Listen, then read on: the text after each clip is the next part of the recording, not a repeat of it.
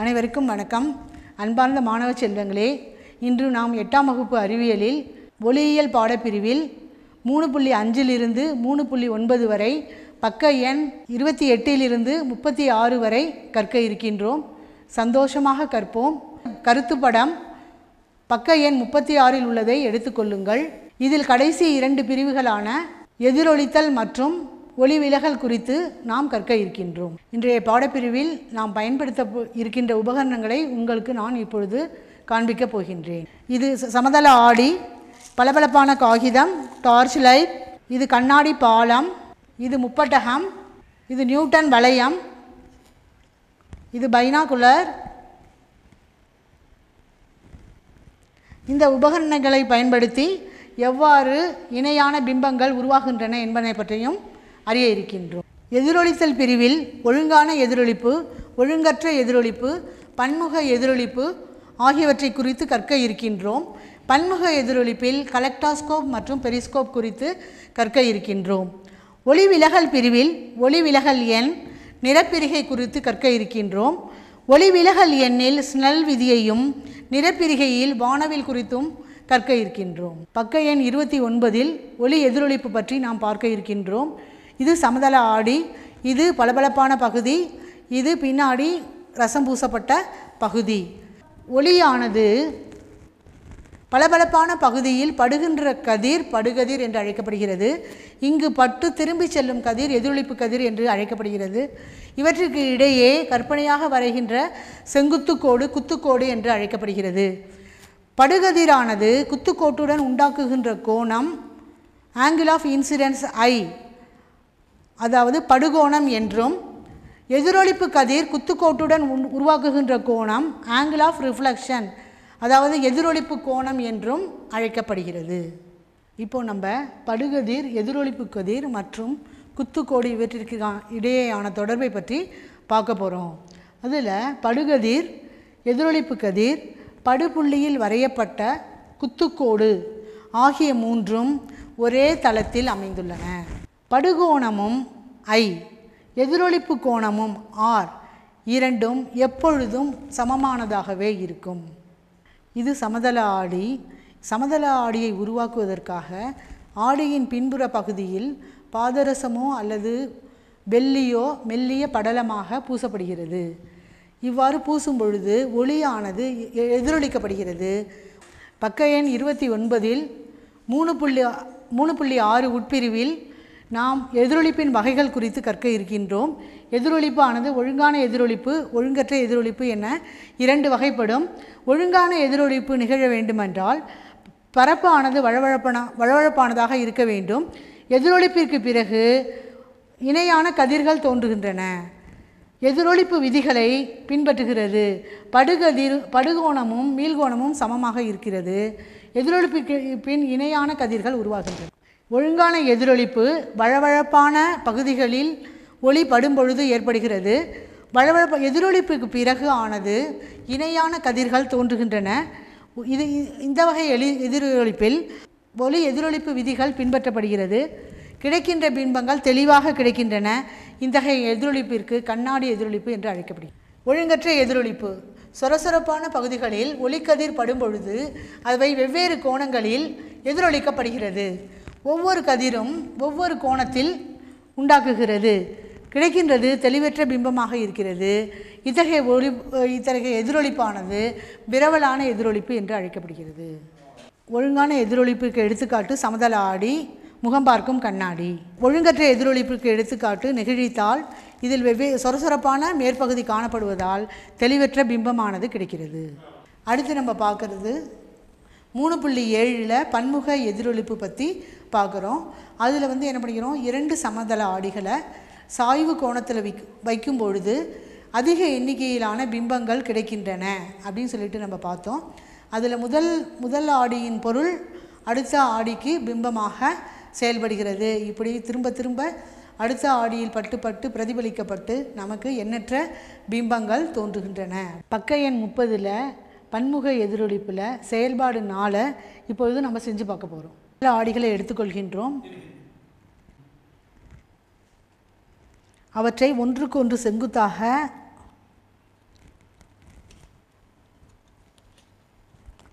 செங்குத்தாக வைக்கும் பொழுது செங்குத்தாக வைத்துக்கொள்கின்றோம். இடையில் ஒரு பொருளை வைக்கின்றோம். அப்பொழுது ஒன்றுக்கு மேற்பட்ட பிம்பங்கள் தோன்றுகின்றன. செங்குத்தாக வைக்கின்ற பட்சத்தில் மூன்று பிம்பங்களை நாம் காண இயலும். ஒன்றுக்கொன்று தொண்ணூறு டிகிரி கோணத்தில் வைக்கும் பொழுது பொருளானது நான்கு தெரியும். அதில் ஒன்று பொருள் மீதி மூன்று பிம்பம். இடைப்பட்ட சாய்வு கோணம் குறைய குறைய அதிக எண்ணிக்கையிலான பிம்பங்கள் தோன்றுகின்றன. ஒரு கண்ணாடியால் உருவாக்கப்பட்ட பிம்பமானது அடுத்த கண்ணாடிக்கு பொருளாக பயன்படுகிறது. அவ அதனால் திரும்ப திரும்ப அதிகமான பிம்பங்கள் உருவாக்கப்பட்டு பிம்பங்களின் எண்ணிக்கை அதிகமாக நமக்கு கிடைக்கிறது. இரண்டு கண்ணாடிகளை ஒன்றுக்கொன்று இணையாக வைக்கும் பொழுது மிக அதிக எண்ணிக்கையிலான பிம்பங்கள் உருவாகின்றன. இதனை நாம் சலூன் கடைகளிலும் ஆடை ஷோரூம்களிலும் காணலாம். பன்முக எதிரொலிப்பில் இரண்டு கண்ணாடிகளுக்கு இடையேயான கோணத்தை தீட்டா என கொண்டால் பிம்பங்களின் எண்ணிக்கையை முந்நூற்றி அறுபது பை தீட்டா மைனஸ் ஒன்று என்ற சூத்திரத்தை பயன்படுத்தி நாம் தெளிவாக அறியலாம். அதற்கு ஒரு ஒரு அட்டவணையை நாம் எடுத்துக்கொள்வோம். முதலில் முந்நூற்றி அறுபது பை தீட்டா என்பதற்கு பதிலாக தொண்ணூறு டிகிரியை நாம் போட்டோமானால் முந்நூற்றி அறுபது பை தொண்ணூறு இஸ் ஈக்குவல் டு நாலு மைனஸ் ஒன்று இஸ் ஈக்குவல் டு மூன்று பிம்பங்கள் தோன்றுகின்றன. அந்த மூன்று பிம்பங்கள் தோன்றுவதை இதில் மூன்று பிம்பங்கள் என்று எழுதிக்கொள்வோம். கொள்வோம் இரண்டாவதாக முந்நூற்றி அறுபதில் தீட்டாவதற்கு பதிலாக அறுபது டிகிரியை பிரதியிட்டோமானால் ஆறு பிம்பங்கள் தோன்றுகின்றன. ஆறிலிருந்து மைனஸ் ஒன்று பொருளை கழித்தோமானால் ஐந்து பிம்பங்கள் உருவாகின்றன. ஆகவே நாம் இங்கு ஐந்து என்று போட்டுக்கொள்வோம். அடுத்து முந்நூற்றி அறுபது டிகிரியை நாற்பத்தஞ்சு டிகிரியால் வகுக்கும் பொழுது நமக்கு எட் எட்டு பொருட்கள் காண் காண முடியும். அவற்றில் ஒன்று பொருளாக உள்ளதால் மீதி உள்ளது ஏழு பிம்பங்கள். ஏழு பிம்பங்களை இங்கு பிரதியிட்டுக் கொள்வோம். மூணு புள்ளி ஏழு பன்முக எதிரொலிப்பில் மூணு புள்ளி ஏழு ஒன்றில் கலெக்டாஸ்கோப் பற்றி நாம் இங்கு பார்க்க இருக்கின்றோம். கலெக்டாஸ்கோப்பானது பன்முக எதிரொலிப்பு தத்துவத்தில் செயல்படுகிறது. இதில் மூன்று சமதள ஆடிகள் ஒன்றுக்கொன்று சாய்வான கோணம் அறுபது டிகிரியில் வைத்து இடையில் பொருளை வைக்கும் பொழுது எண்ணற்ற பிம்பங்கள் உருவாகின்றன. அவை மிகவும் மகிழ்ச்சி ஊட்டுவையாக இருக்கிறது.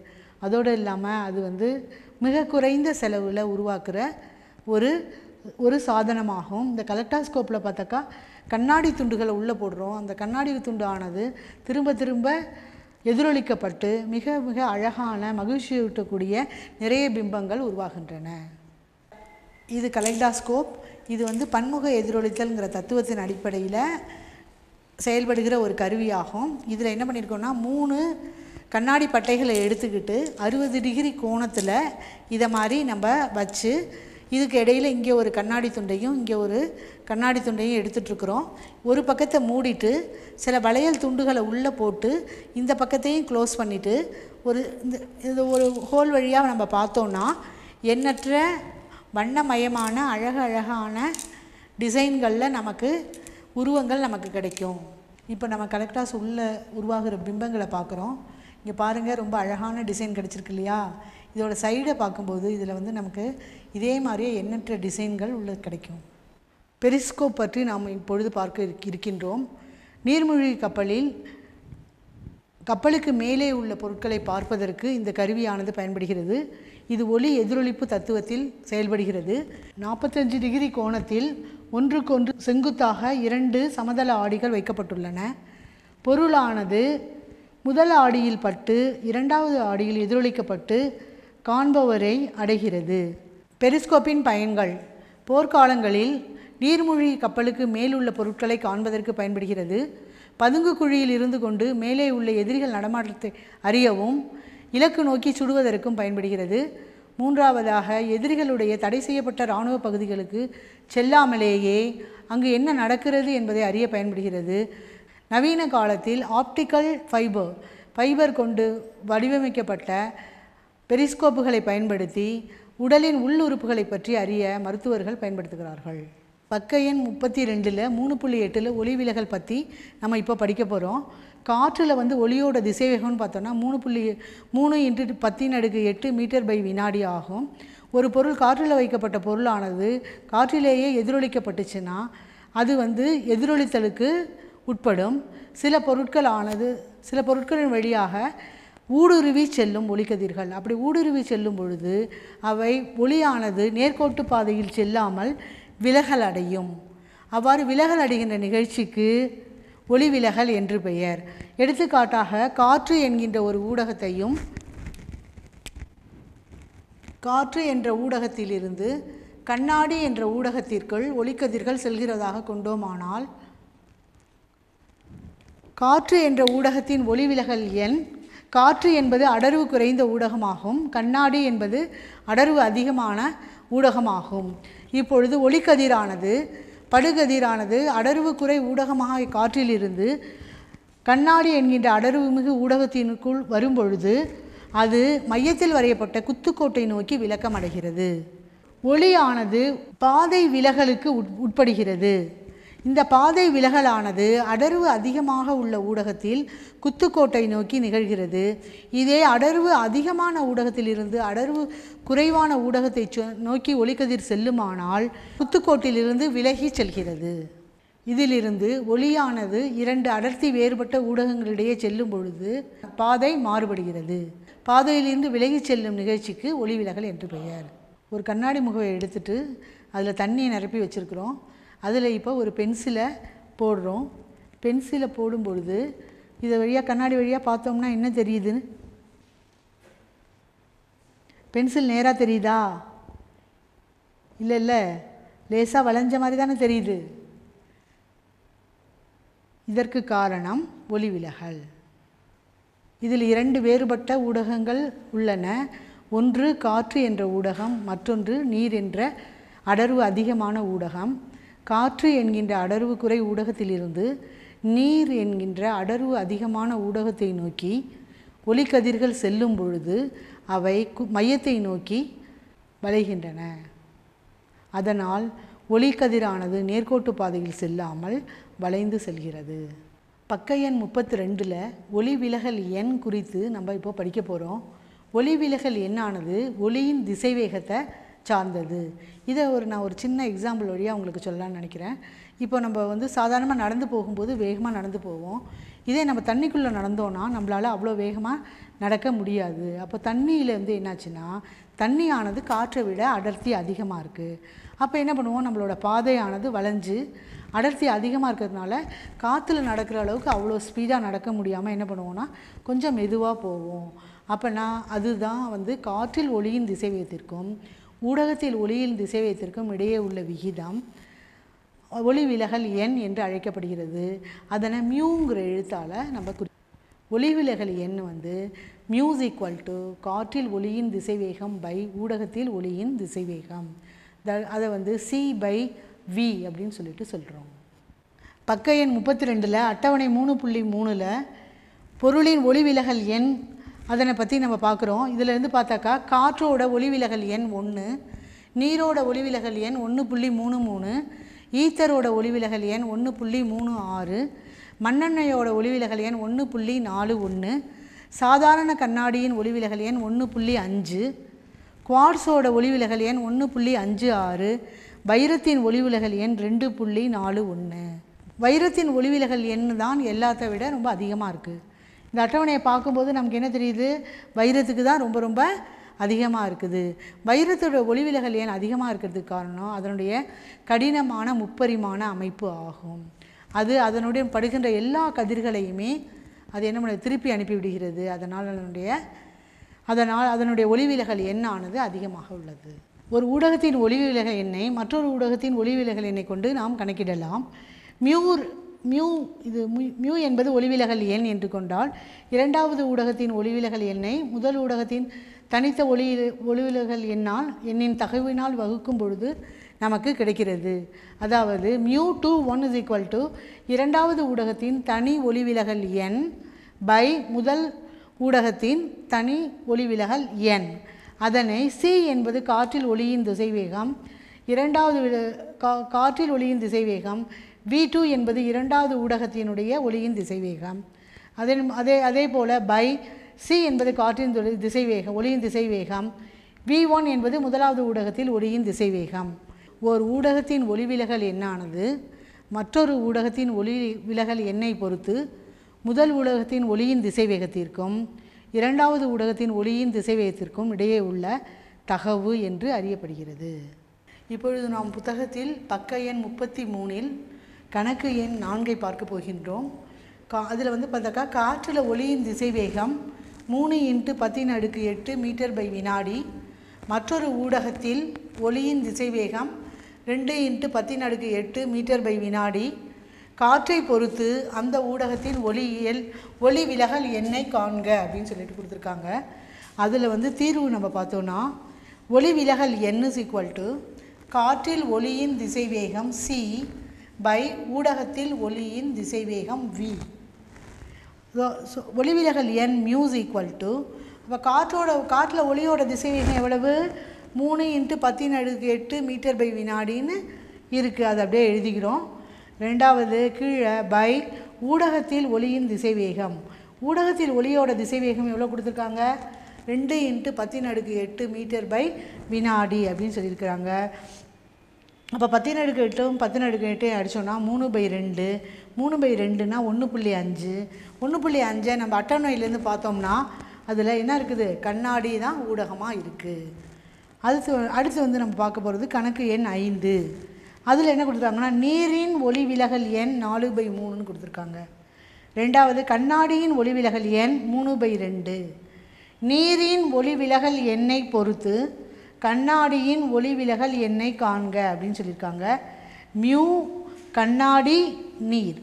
கண்ணாடியினுடைய ஒளிவிலகல் எண்ணை நீரை பொறுத்து காண வேண்டும் என்பதற்காக நாம் இவ்வாறு எழுதி கொள்கிறோம்.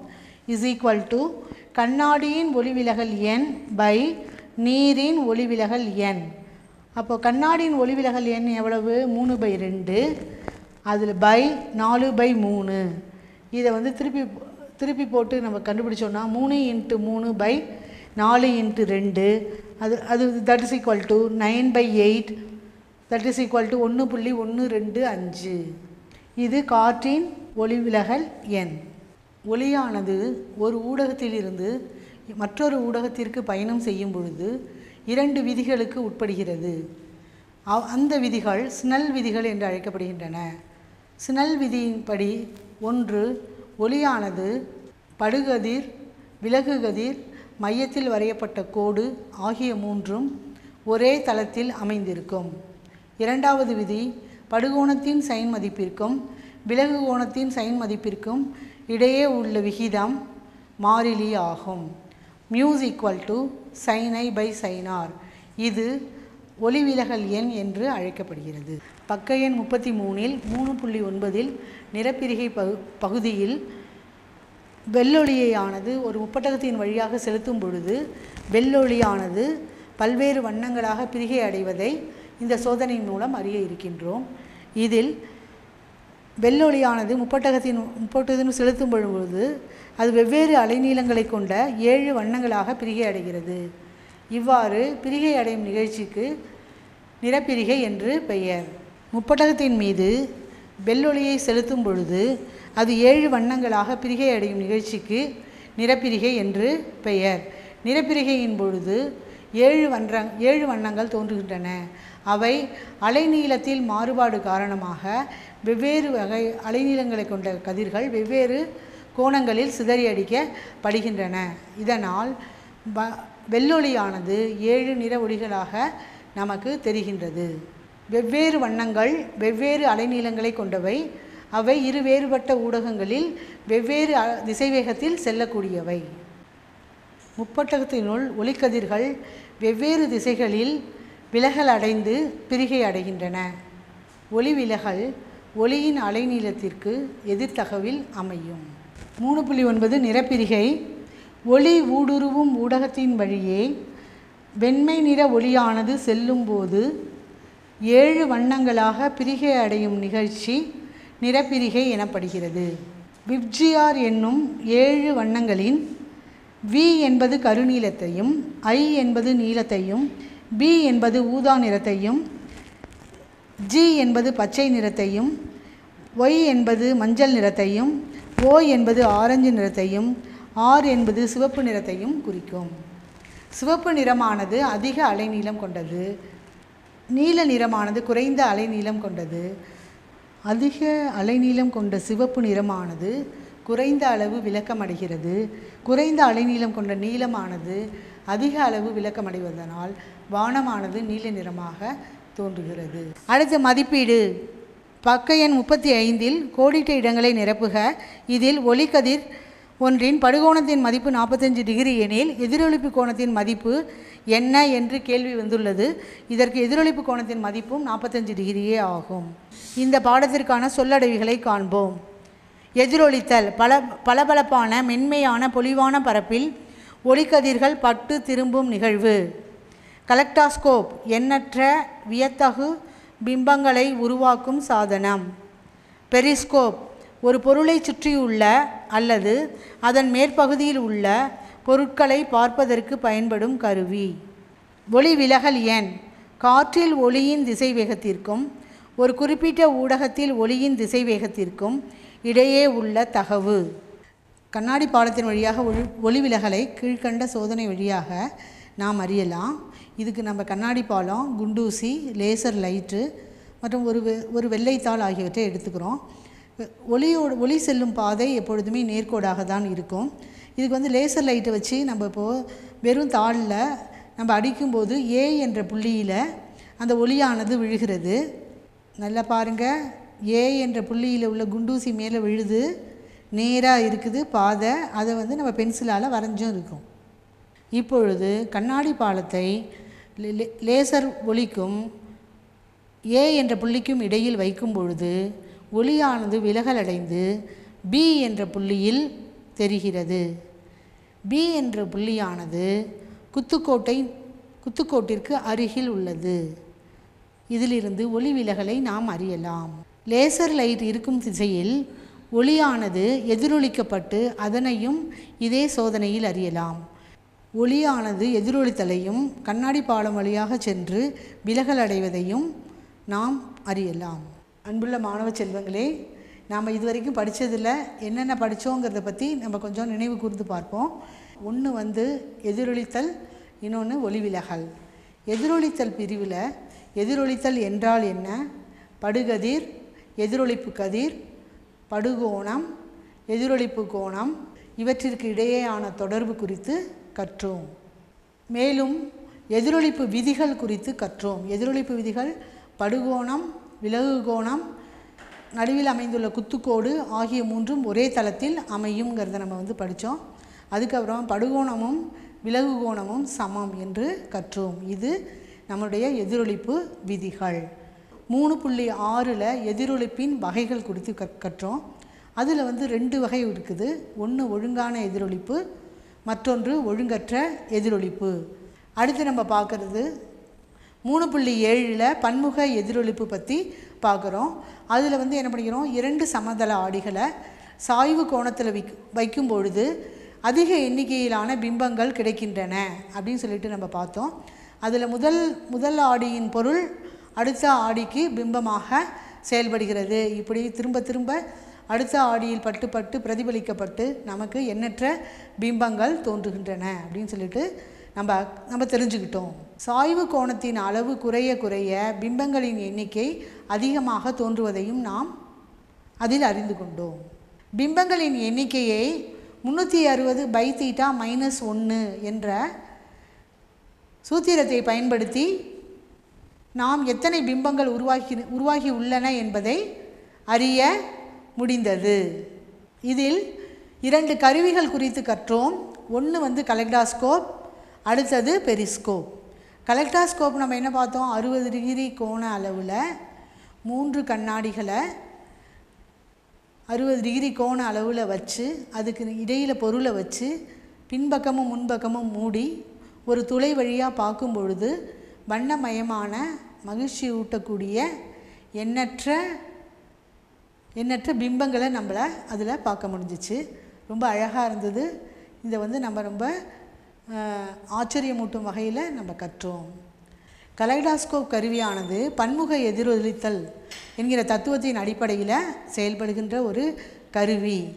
இதில் நம்ம நல்லா அழகாக செஞ்சு பார்த்தோம். அதுக்கு அடுத்து மூணு புள்ளி ஏழு ரெண்டு இந்த தலைப்பின் கீழே பெரிஸ்கோப்பை பற்றி நம்ம பார்த்தோம். பெரிஸ்கோப்பில் நாற்பத்தஞ்சு டிகிரி கோண சாய்வில் ஒன்றுக்கொன்று செங்குத்தா இரண்டு சமதள ஆடிகள் வைக்கப்பட்டுள்ளன. இது ஒளி எதிரொலித்தல் என்ற தத்துவத்தின் அடிப்படையில் செயல்படுகின்ற ஒரு கருவியாகும். இதில் முதல் கண்ணாடியில் படுகின்ற பிம்பமானது கீழுள்ள கண்ணாடியில் எதிரொலிக்கப்பட்டு காண்பவரின் கண்ணை அடைகிறது. பெரிஸ்கோப்போட பயன்களில் அது எப்படி நமக்கு போர்க்காலங்களில் நம்மளை வந்து வழி நடத்துதுங்கிறத பற்றி அறிந்தோம். அதுக்கப்புறமா அடுத்த டாபிக் நம்ம போனது ஒளி விலகல் மூணு புள்ளி எட்டில் நம்ம ஒளி விலகலை பற்றி படித்தோம் அதில் ஒளியானது ரெண்டு ஊடகங்கள் ஒரு ஊடக இரண்டு ஊடகங்கள் வழியாக செல்லும் பொழுது ஒளியானது அதனுடைய பாதையிலிருந்து விலகி செல்கிறது என்கிறத நம்ம நம் அறிஞ்சோம். அதுக்கப்புறம் ஒளி விலகல் என்னன்னா என்னன்னு கண்டுபிடிச்சோம். மூணு புள்ளி எட்டில் ஒளி விலகல் குறித்து கற்றோம். இரண்டு வெவ்வேறு ஊடகங்கள் வழியாக ஒளி செல்லும் பொழுது அதனுடைய நேர்கோட்டு பாதையிலிருந்து ஒளி விலகிச் செல்கிறது என்பதனை நாம் சோதனைகள் வாயிலாகவும் அறிந்தோம். அதற்கு அப்புறம் மியூ ஒளி விலகல் எண் மியூவை அறிந்தோம். மியூஸ் ஈக்குவல் டு காற்றில் ஒளியின் திசைவேகம் பை ஊடகத்தில் ஒளியின் திசைவேகம் என்பதை அறிந்தோம். பிறகு இரண்டு வெவ்வேறு ஊடகங்களின் வழியாக ஒளி விலகல் எண்ணை எவ்வாறு கண்டறியலாம் என்பதை அறிந்தோம். மூணு புள்ளி எட்டில் ஒளி விலகல் குறித்தும் மூணு புள்ளி எட்டு ஒன்றில் ஒளிவிலகல் எண் குறித்தும் மூணு புள்ளி எட்டு ரெண்டில் ஸ்னெல் விதி குறித்தும் கற்றோம். அதற்கு பிறகு நிறப்பிரிகை.